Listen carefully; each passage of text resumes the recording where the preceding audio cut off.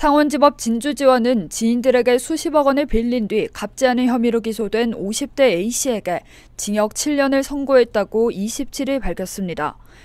A씨는 2012년부터 2019년까지 아버지 통장에 수십억 원이 있지만 상속세 때문에 못 찾고 있다며 지인 4명에게서 22억 원을 빌린 뒤 갚지 않은 혐의로 기소됐습니다.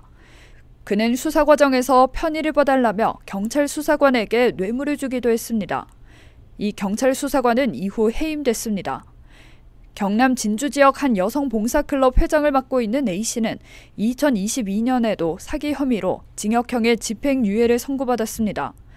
재판부는 A씨는 돈을 받아 다른 목적으로 사용했고 돈을 변제하지 못할 수 있다는 인식을 하고 있었던 것으로 보인다며 범행 기간의 반복성과 피해 규모를 봤을 때 질이 나쁘다고 양형 이유를 밝혔습니다.